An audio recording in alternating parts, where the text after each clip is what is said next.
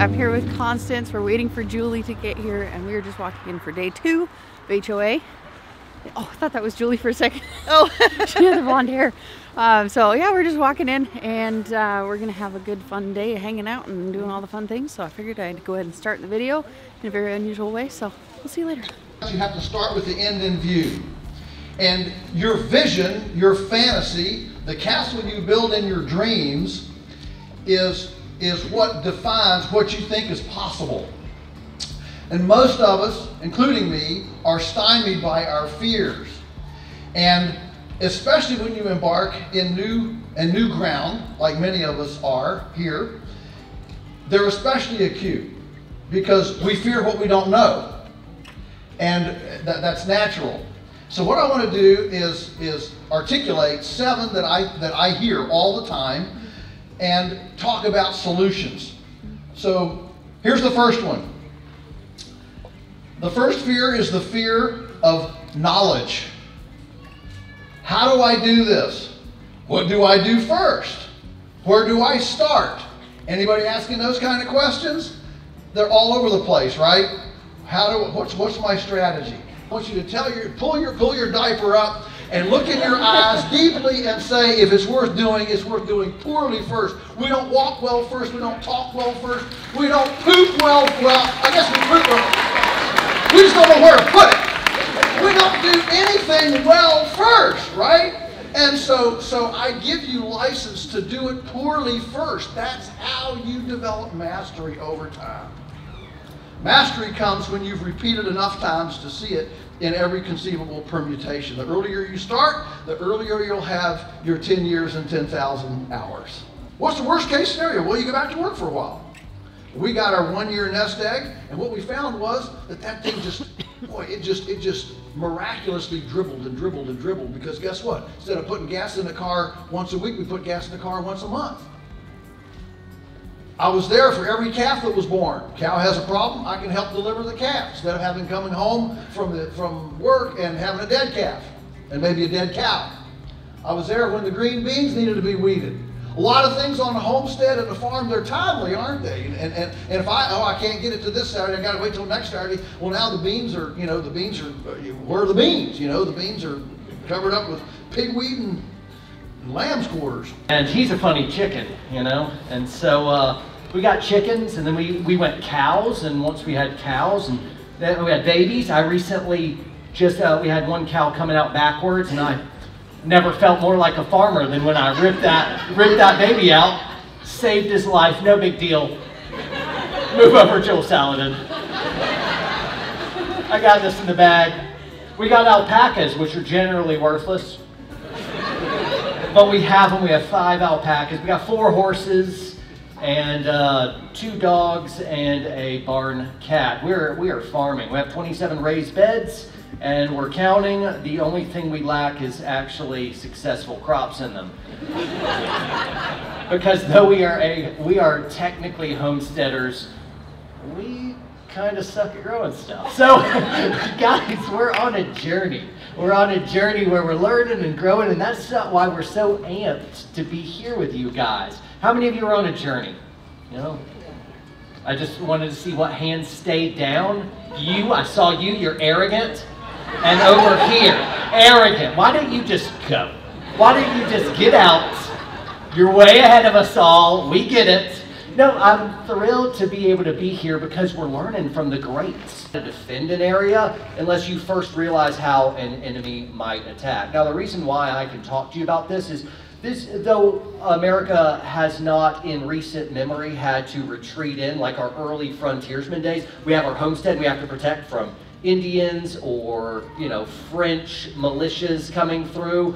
We didn't have to, you know, frontier kind of living. That's not happening anymore. However, uh, this is not so theoretical for me as it might be for you. As a member of uh, 2nd Ranger Battalion, uh, Special Operations Community, I would do overseas deployments to Afghanistan and Iraq where we, literally we would seize palaces or compounds. We would take that ground and then we would make it defensible and we would try to keep any of these bad players, Taliban or Al-Qaeda, from killing us. What is the big difference? It's homestead protection, right? We just didn't have crops inside. How do you take ground and how do you keep it when everyone else wants to kill you there? Uh, raid, a traditional raid, if somebody if somebody wanted to take your stuff, this may be how they do it. One, a just traditional military-ish raid. Remember, bad guys hunt in packs. That's what they do, particularly if they were teaming together to take resources uh, from a place. So understand bad guys are not like you. They don't think like you. They do hunt in packs. This is a frontal attack. And once you're kind of attacking on one front, a flanking element will come in from the side or rear to steamroll over. And so understand this is uh, one way bad guys may take your stuff. It's just a traditional raid. It would occur to uh, bad players. Another thing is to use speed and violence. Imagine you're at your homestead uh, you're wanting to protect your resources. You got some security in place. I had read an article about high fructose corn syrup, and that was kind of like my introduction to crazy. that was kind of how I got here, I guess. Um, so I read, I read that I read that article, and it basically told you all about corn syrup, about how it makes you not, you know, it makes you eat more, and it's not good for your body, and your body doesn't know what to do with it, and all these things. And so I was like, that's it. We're done eating fructose corn syrup. I went home. Well, I think I probably was home, home But I went to the pantry. I took all the corn syrup out of our house, threw it in the trash bag, and we were done. We were like, we are never eating it ever again. I want to say 2003-ish. And, um, and so that was kind of like our introduction to questioning what was in our food and saying like, what are we eating and why are we eating it and all these things. And, and then that, that's led us to now where you know, we come here to this event and I bring all my own food and I bring my own cookware and I bring my own water and so it does lead you down a crazy path, but it's it's one that I, I feel like I have to do, you know, to, to keep myself, my health at a certain level with what I've been diagnosed with. And so that's just something, you know, to give you a little background of me. But um, so concerns in food, there's so much. So I just decided to focus on a few because we could be here all day just for that. But GMOs, obviously, we don't want to be putting genetically modified ingredients into our body. But why? Why do you, you know, why do you think that we would want to do that? If it's going to kill a bug, what do you think it's going to do to our microbiome? Just like he, you know, we were trying to figure out, well, he was trying to figure out what's going to make me feel my best because he felt like terrible. And um, he was just like, I'm going to sit in the sun every day you know, is this is this okay? Like, is not a sunscreen on? You know, like, what are what what are what are people saying about this? So I started researching it, and I was like, wow, man, I need to get the sun myself. so I started laying out with them, and so um, I've been we've been doing the sun, and I've actually been able to keep my vitamin D levels up with just sun exposure and cod liver oil and neem oil. Um, those have been my two things that I've been able to keep my vitamin D levels, and Justin's been able to keep his vitamin D levels up with those as well. But then like COVID happened, and I started seeing like health research like, you need to be weightlifting, you need to be building muscle mass. Building muscle mass will help you stay healthy. And I was like, oh, this is interesting. Maybe we should start doing this. And so then Justin's like, I'm gonna start weightlifting, and I was like, okay, well, I'll do it with you. So we have a trainer, and we have to keep him because y'all, I'll be honest, we will not do it if he does not come. If Jacob does not show up at 11.15 on Monday, Tuesday, Wednesday, Thursday, Rebecca and Justin will not work out. I'm not kidding, because he's like trying to, he's like, he's like, oh, you guys, I'll just teach you all the, I'll teach you all the moves, and then you guys can just do it on your own. I'm like, you have no idea, you have no idea. He is literally our professional accountability partner. Yeah, I hate it. I absolutely hate it. I will not lie. I hate working out with all of my being, but the research that I have read, um, you will, like, literally, it will help you live longer. Like, shockingly, like, lifting weights will make you live longer. It's not, not it's like, it's like the number one predictor of, like, longevity. Weight Is that not crazy? Like, I, when he told me that, I was like, really? Mm-hmm. Are you sure? Our bodies are made for work. like, are you serious? Because I don't want to do this no more. I gotta leave you raring. Are you guys raring to go? After this, you're getting energized and ready to do this. Good. Hopefully, we're going to help you do that a little bit more. We're going to talk about turning off the news and building a homestead. 2005, we said we were going to get rid of our TV, and now that was before it was cool to get rid of your TV. That was before all the streaming platforms and and all this. And I heard we heard an old couple say once, "Well, we don't watch TV. We just listen to the radio." Well, that was us. But then the radio got kind of boring. But we, we literally did get rid of our TV, and now what do you do in the evening? Because we grew up, you just watched uh, Friends and then Seinfeld and whatever. You, that, that was your evening. And but we got rid of our TV because we figured it was mostly junk anyway. So we got rid of what are we going to do? And for a while we were bored and it was hard. And before long, we started writing, we started reading, we started volunteering at the youth group.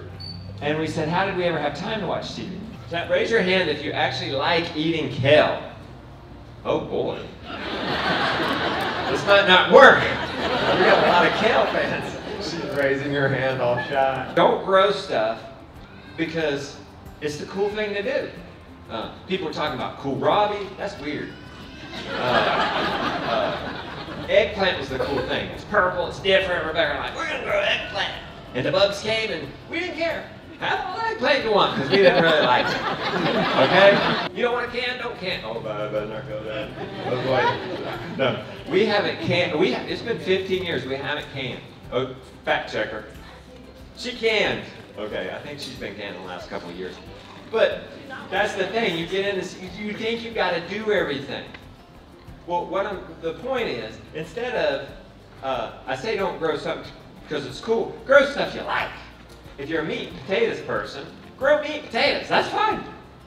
Okay? I've seen these, these, you know, kale got a real good traction there for a while, and I saw these t-shirts and stuff. Kale, yeah. Have you seen those? Have you seen those? And, and, and I challenged them at the last Ohio event to make me a little something. Oh, boy. I thought it was right under here. Now that was Can I rip it, Rebecca? Like, bust my butt. I was hoping it was going to be a little more quick. Now it's all awkward.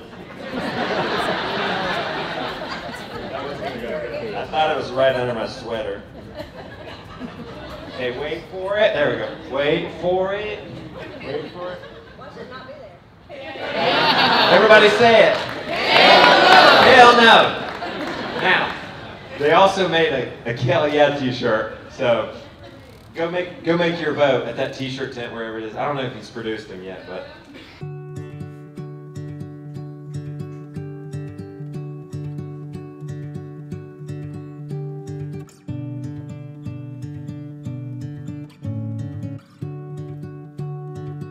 actually back home and I'm out uh, doing some deliveries and I figured what better time to end this than now because I didn't do it earlier. So basically what happened was is that after the actual conference, we went out uh, for a quick dinner with, um, you see Becky from Acre Homestead and her mom, and then Julie from Row Co Farms and her husband. And then after that, we, we met up with Constance and we went over and just had a grand old time with a bunch of people over at uh, the place where the Stivers were staying. The night got a little carried away and so I never ended up ending the video. And then after that, I drove drove to uh, Kentucky and got to spend the evening and the following morning with Tangi at Freedom Homestead. You guys are going to see that video coming up, uh, both on my channel as well as her channel. But I thought I would go ahead and end this video. Uh, number one, if you guys want to support an amazing organization and um, have access, er, early access to any ticket sales, so if you guys want to go to Homesteaders of America next year, you can get early access to the tickets. You can get discounts on all the sponsors. Well, not all the sponsors, but all the sponsors that offer discounts. You can get discounts, and you can also have access to if you get the premium membership, which is I believe. $75 right now. There's also a 30 a basic which is $35. You can get access to um, to the almost all, if not all, of the um, the presentations that they have at the actual HOA conference, as well as access to many of the different, um, uh, there's a bunch of courses and classes and things, and videos that are on on the HOA website. So if you guys want to sign up, I have a link down below as well as in the first pinned comment and you guys can use my code and you guys can get access to all this amazing stuff as well as being able to support the channel at the same time. So I hope that you guys will consider checking that out if you have not already. And so let's go ahead and end this video with a bit of a mini haul. I didn't get a terrible amount of stuff I didn't get a lot of stuff while I was there. Honestly, I got super carried away um, just talking to people, meeting people, going to the different classes and things like that. I did not take a lot of time this year to actually check out the, the merchant booth. So, uh, but the few things that I did check out, I will go ahead and let you know about. So, because I did get some pretty cool stuff. the main the main thing that I actually did end up doing going to was the the HOA, the Homesteaders of America booth, and I got all that stuff like right before we even went to the first event because last year they sold out really quick. So I got this hoodie. I hope that will actually focus. Maybe it'll focus better on the t-shirt. So I got that hoodie there, and it's the, with their their um, it's like a temporary logo thing. It's just something. It's a special edition. So, and then I also got the t-shirt to match it because I love it. I think it's gorgeous. I think it's a super pretty logo. So I got those. And then I've been wanting this since last year, and so I finally got it. It's a Homesteaders of America uh, hat. I love it. And their mug. You know me and mugs. So I got that. I think it's beautiful. And then I went to the Hoss Tools tent and got their radish shirt. And so I just haven't oh, actually opened that up. It's just, it's a radish and it says rad-ish. So that was super cool.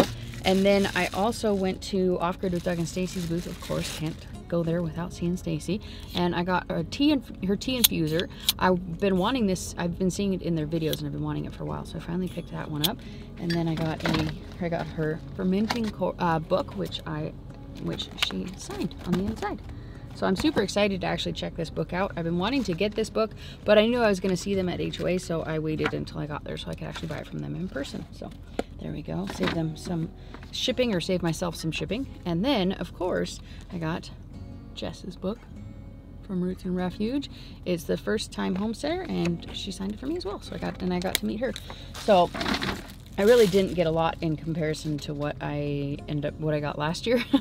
so I definitely was more tame. It was much more um, about uh, just meeting people. I got to meet a ton of people. I mean, you guys are going to see earlier in this video as well as yesterday's video. If you haven't already seen yesterday's video from day one, make sure you check that one out. And then um, over the next couple of days, I'm just going to be doing some uh, videos that I had recorded before I actually left for HOA.